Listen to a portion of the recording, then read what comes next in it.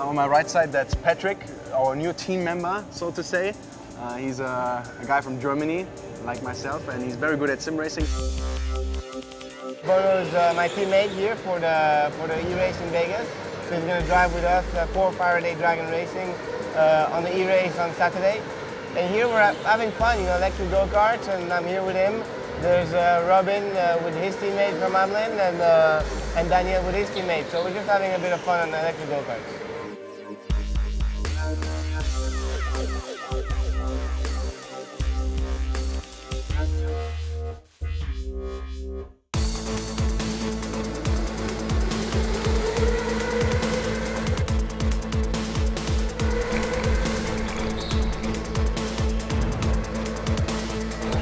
started last, so I had a bit of fun uh, passing some guys.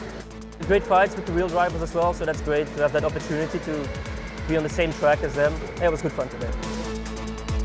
Sharing the track with Daniel was, was amazing, you know, he's a pro driver, real race car driver you've seen always in TV and uh, to have a little race against him on the car track is really unforgettable experience, was, was great. I was very much impressed with his driving. I mean, before we came here, he was actually already looking for onboard laps of this track to see the line. That's how, that's how serious he takes it all.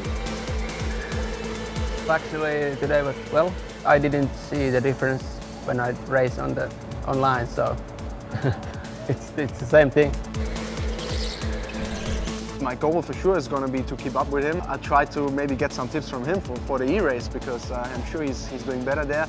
But for the moment, I think it's just uh, cool to have him on board, to have all the, all the sim racers with us. And uh, for now, we're just going to have a good time. And then when we, when we start the race, yeah, the ego is going to kick in and everyone wants to win. Uh, but in the end, to be honest, it's about fun and I'm sure we're going to have that. I don't know what I would give him as a tip. I mean, just go as fast as you can, that's all I can say. I mean, that, that's the political way to say I'm not giving him anything. It was great fun to, uh, to know each other a bit more before the big race coming on. So, um, yeah, I'm looking forward to Saturday. Well, let's see. He was fast today, so maybe little tiny things so we can secure the 1-2. As it gets closer, of course, you know, the tension builds up and, and everyone's going to try to get more into it and more on the rhythm. I mean, it's a bit of a problem that we are in Vegas, not so easy to stay focused all the time, but we'll try our best and uh, we'll try to make sure that the red colors are very much up front.